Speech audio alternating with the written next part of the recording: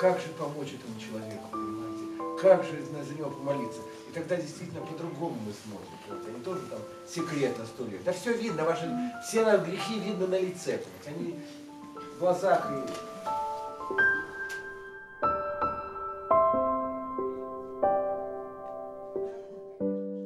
Вопрос номер один. А потом все вопросы отвечу. Каково семя монастыря? От чего зародился монастырь 20 лет назад? Ну, монастырь, да, немножко дальше. 20 лет назад мы, как бы сказать, была освящена, освящена, освящена, освящен храм э, Ксении Блаженной в интернате. Вот 20 лет именно. Монастырь родился раньше. И он, конечно, рождался внутри, внутри наших отношений, наверное,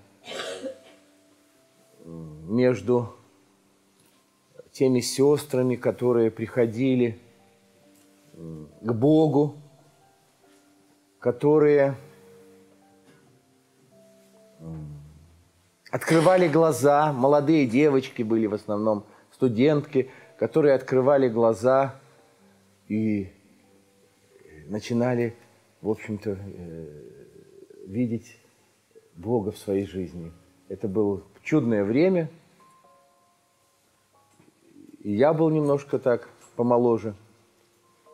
Мы не думали и не жалели себя. И было желание послужить Богу. послужить Богу.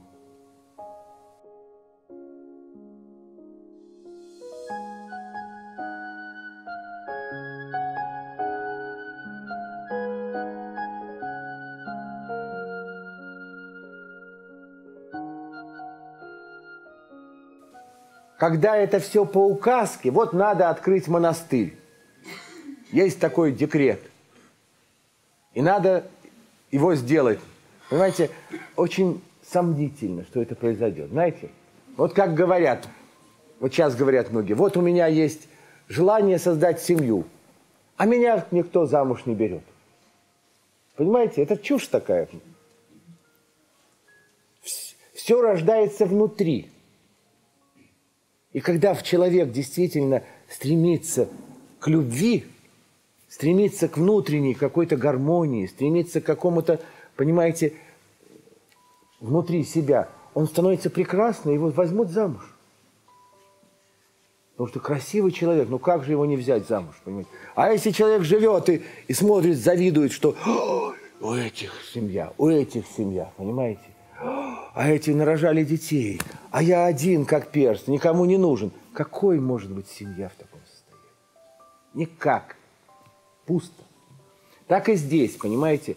Если бы мы говорили, вот сейчас мы, сейчас мы дадим, сейчас построим здесь, всех удивим. Никакого вообще не было в монастыре, никакого не было такого желания. Был просто больные люди, очень много больных людей.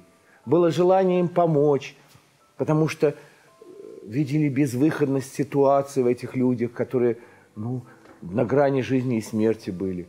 Были сестры, которые после институтов приходили и все свое, все свое время тратили не на наряды, не на дискотеки, не на какие-то развлечения, не на поиски женихов, а на то, чтобы послужить Богу, помочь. Потому что эти сестры, они почувствовали, что здесь что-то настоящее, что здесь что ты получаешь больше. Понимаете, ты получаешь гораздо больше, отдавая себя в руки Бога.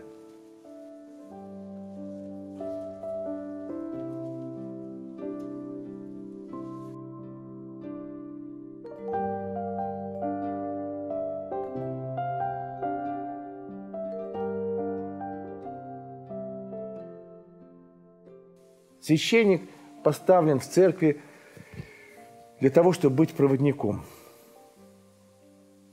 Если он является этим проводником, тогда идет электричество и, и свет светит. Вот раз свет погас, и все, и конец съемки. А сейчас раз, свет. Да, значит, должен быть электрик. Вот священник, можете есть тот электрик, который там, понимаете, заржавели провода, надо как-то надо контакт, надо пробки поменять. Чтобы человеку сказать, ну что ты, что ты дурака валяешь? Открой глаза, посмотри, светло, поборись за свою добрую мысль. И тогда, конечно же, все меняется. Все меняется.